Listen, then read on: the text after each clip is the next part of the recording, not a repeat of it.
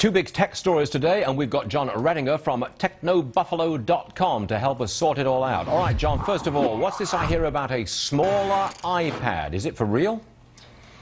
So we've been hearing rumors of different iPad sizes for years. Actually, in Walter Isaacson's biography on Steve Jobs, they said that they were testing this rumored iPad mini or this 8-inch tablet. But now we're hearing that Apple is getting ready to finally unveil two iPad sizes. Wall Street Journal reported it first this morning. Uh, an 8-inch variant, which is 1.7 inches smaller than the 9.7-inch iPad that we currently have on the market. So, you know, there was a time when I looked at those little tiny screens and I thought that nobody would ever watch anything on a screen that small. Now I watch stuff all the time on a screen that small. So you would, would make the value judgment. A smaller screen iPad, you think it will be a success?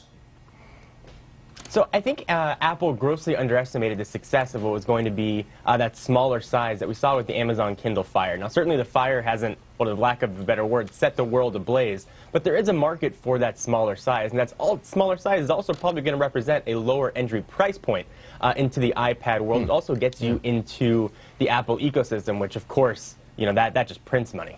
Now, I want your comment on a new Sony product. It's getting ready to release a brand new handheld video game console, yes. getting some pretty good reviews from the geeks, as I understand it, and it's called the, uh, the PS Vita. You hold it in your yep. hand, you play games, it's an entertainment console, do whatever you want with it all over the place. Uh, what do you hear about it?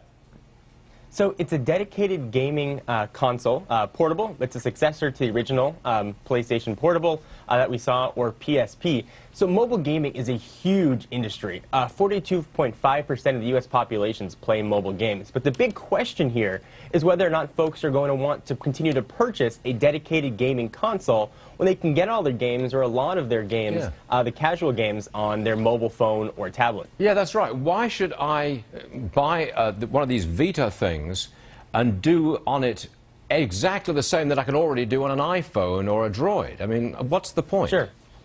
So Sony's hoping their $50 million launch campaign is going to help educate us. So this console is going to run you $249 or $299. You're going to get PS3 level graphics. You're going to be able to sort of take your PlayStation games with you wherever you go. And Sony's banking on that hardcore gamer that's really going to want that better graphic experience, and more in-depth gameplay, and longer games. Now, interestingly enough, they've also added more cell phone casual gaming experience uh, to the PS Vita. So you've got a built-in web browser in there. Is this uh, stuff that your phone also does? You know, I, I, I, tend to think that Sony's tailed off a lot in, in recent years. Uh, is this enough to get them back on track as a, a, a tech leader?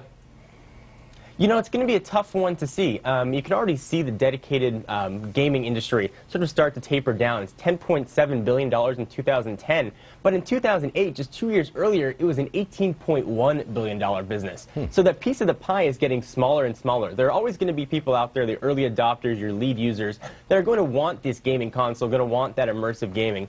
But those that are looking to say, well, I could spend $250 on, you know, a, a smaller tablet, or I can spend an extra $200 and get an iPad, you know, for that $500 price point and get everything, uh, it's going to be a difficult sell for Sony. And hopefully their $50 million campaign is going to educate a lot of people. All right, Jon Rettinger, you know your stuff. And thanks for joining us again. We appreciate it. Thank, Thank you, you for having me.